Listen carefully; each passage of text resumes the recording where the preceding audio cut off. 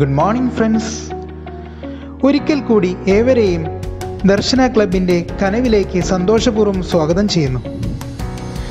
ഇന്ന് സാറ്റർഡേ ആയതുകൊണ്ട് ദർശന ക്ലബിന്റെ കനവിന്റെ ഈ എപ്പിസോഡിലൂടെ ഒരു നല്ല സന്ദേശം ഉൾക്കൊള്ളുന്ന കഥയുമായാണ് സിംസൺ ചേട്ടൻ ഇന്ന് നമ്മോടൊപ്പമുള്ളത്.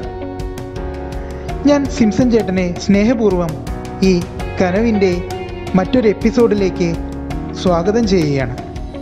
ഇനി നമുക്ക് സിംസൺ ചേട്ടന്റെ ഈ കഥയൊന്ന് കേൾക്കാം. പ്രിയപ്പെട്ട മരിയസർ ഗ്രൂപ്പ് അംഗങ്ങളെ എത്രയും സ്നേഹം നിറഞ്ഞ സോളമനച്ച എല്ലാവർക്കും എന്റെ നമസ്കാരം. ഞാൻ സിംസൺ ചിറ്റാട്ടുകര. ഇന്ന് ശനിയാഴ്ച ഒരു കഥ പറയാനുള്ള പരിപാടി തന്നെയാണ്. ഇന്നത്തെ കഥ എന്ന് പറഞ്ഞാൽ ഇപ്പം നടക്കണ കാര്യം നടന്ന കാര്യമെന്നല്ല. വർഷങ്ങൾക്ക് മുമ്പ് ക്രിസ്തു മരിച്ച സമയം തൊട്ടുള്ളൊരു കഥയാണ് പറയാൻ പോണത്. ക്രിസ്തു മരിച്ചപ്പോൾ ഒരു കൂട്ടർ മാത്രം ഭയങ്കരമായിട്ട് സന്തോഷിച്ചു. അവരുടെ സാമ്രാജ്യം ലോകത്തിലെ മുഴുവൻ എത്തും എന്നുള്ള ചിന്തയിലായിരുന്നു അവർ അത് പിശാചികളായിരുന്നു. ക്രിസ്തു ഉയർത്തെഴുന്നേറ്റപ്പോൾ അവർ സന്തോഷത്തിന് കോട്ടം സംഭവിച്ചു തുടങ്ങി. എല്ലാവരും ക്രിസ്തു ശിഷ്യന്മാരായിട്ട് മാറാൻ തുടങ്ങി. ക്രിസ്ത്യാനികളും ക്രിസ്തു ശിഷ്യന്മാരായിട്ട് മാറാൻ തുടങ്ങി. ഈ സമയത്ത് അവർക്ക് മനസ്സിലായി പിശാചികളുടെ സാമ്രാജ്യം നഷ്ടപ്പെട്ടുകൊണ്ടിരിക്കുകയാണ്. അവർ അവരുടെ പ്രവർത്തനങ്ങൾ ശരിക്കും നടക്കണില്ല. കേൾക്കുന്നവർ കേൾക്കുന്നവർ ക്രിസ്തു വിശ്വാസികളാവണു. ആ സമയത്ത് അവരൊരു സർവലോക പിശാചി സമ്മേളനം വിളിച്ചു കൂട്ടാണ്. ഈ സർവലോക പിശാചി സമ്മേളനം തുടങ്ങി തുടങ്ങി അങ്ങനെ നേതാവ് ഉപവിഷ്ടനായി അദ്ദേഹം അവരോട് സംസാരിച്ചു. പ്രിയപ്പെട്ട പിശാജ സുഹൃത്തുക്കളെ സർവലോ സർവലോകത്ത് എത്തിച്ചേർന്ന് എന്റെ നമസ്കാരം.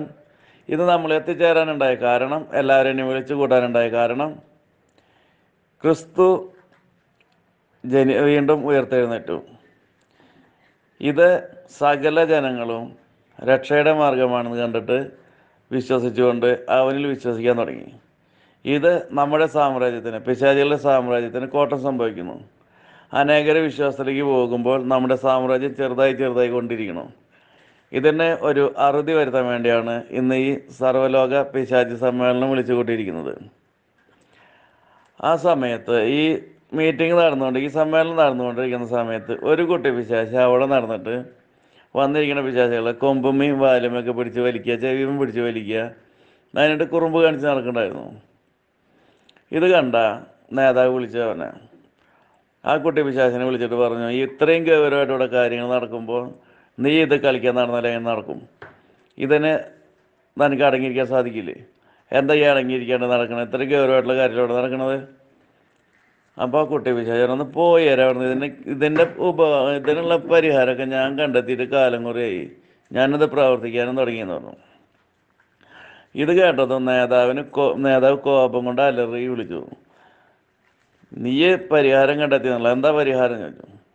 എല്ലാവരോടും പ്രാർത്ഥിച്ചാൽ മതി പ്രാർത്ഥിക്കാൻ പറയാ അത്ര തന്നെ വേണ്ട വേറെ ഒന്നും ചിന്തിക്കാനില്ല എന്നു ഇത് കേട്ടതേ പിശാചികളുടെ തലേന് കോപം ഇരട്ടിയായി. കാരണം എന്താ വെച്ചാൽ പ്രാർത്ഥന എങ്ങനെ ഇല്ലാണ്ടാക്കാന്നുള്ള സമ്മേളനം നടക്കുന്നത് പ്രാർത്ഥിക്കാൻ വേണ്ടി വന്നേക്കണേ. അങ്ങനെ പിശാചികളുടെ തലവൻ ദേഷ്യം കൊണ്ട് പിന്നെ പിടിച്ചു. അപ്പളിക്കാൻ പറഞ്ഞു പറയണത് മുഴുവൻ കേൾക്ക് എന്നിട്ട് തങ്ങൾ ചെയ്യുക എന്താ ചെയ്യാളെ വെച്ചാൽ പറയേ ഞാൻ പറയണത് മുഴുവൻ കേൾക്ക് ആ എന്നാൽ നീ ബാക്കി പറയ വേഗം പറയാൻ പറഞ്ഞു. അപ്പോൾ ആ കുട്ടി വിശാചി പറഞ്ഞ ഇത്രയായിരുന്നു. അവരോട് നമുക്ക് പ്രാർത്ഥിക്കാൻ പറയാം. പ്രാർത്ഥിച്ചോ പ്രാർത്ഥിച്ചോ പ്രാർത്ഥിക്കേണ്ട നേരമുണ്ട് പ്രാർത്ഥിച്ചോ പ്രാർത്ഥിച്ചോ എന്ന് പറയാം.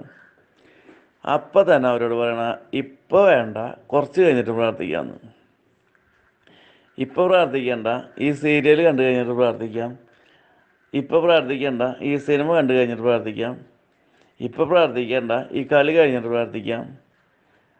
ഇപ്പോൾ പ്രാർത്ഥിക്കേണ്ട.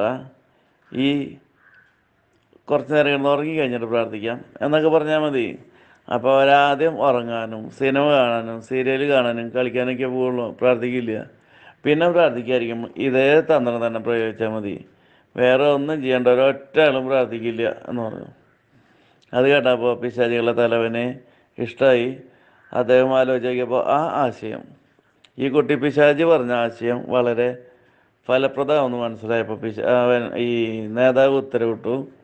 ഇന്നു മുതൽ എല്ലാവരും ഈ ആശയം നടപ്പാക്കണം. നമുക്ക് നമ്മുടെ സാമ്രാജ്യം വലുതാക്കേണ്ടതായിട്ട് അത്യാവശ്യമുണ്ട്.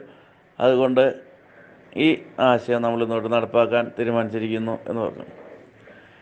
പ്രിയപ്പെട്ട കൂട്ടുകാരെ നമ്മുടെ അടുത്തേക്കും ഈ കൂട്ടി വിശ്വാസിച്ച് ഈ ആശയങ്ങൾ കൊണ്ട് വരാറില്ലേ?